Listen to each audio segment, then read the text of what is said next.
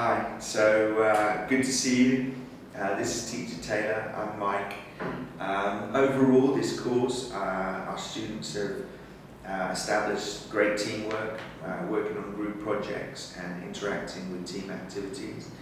Uh, generally, we've been really impressed with their efforts and we're really looking forward to working with them again in the future.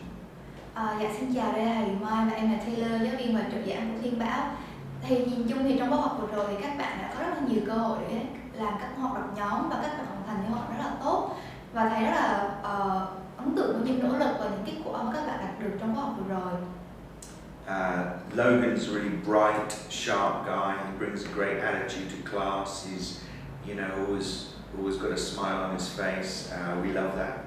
Ờ, thì trong khóa học thì bạn là một học sinh rất là năng nổ và bạn luôn ờ, hào hứng và mạnh dạn trong giờ học thì đó là những điểm mạnh cũng là Sometimes he gets sucked into chatting when perhaps he could focus a bit more. Um, I think, you know, that's the that's something we can we can help him work on in the future. Ờ, nhưng mà tuy nhiên thì bạn lâu lâu bạn có hơi bị phân tâm và nói chuyện riêng với những bạn nam khác trong giờ học thì ờ, thầy sẽ cố gắng cải thiện ở vấn đề đó ở học tiếp theo Uh, so again, moving forward next semester, I think you know work on uh, his grammar a little bit more. We'll help him in class. He can do a little bit at home as well, and um, with the listening. But again, we feel sometimes that comes because he's not he's not paying enough attention in class sometimes.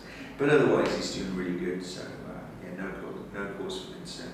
Ờ, thì nhìn chung thì kết quả bài thi của học của Bảo khá là ổn nhưng mà ở phần ờ, ngữ pháp và phần ờ, nghe bạn có hơi thấp hơn một chút thì thầy sẽ cố gắng giúp bạn ở phần ngữ pháp ờ, và phần nghe nhưng mà thầy mong là nếu như bạn có thể cố gắng tập trung hơn thì kết quả của bạn sẽ có thể cải thiện hơn.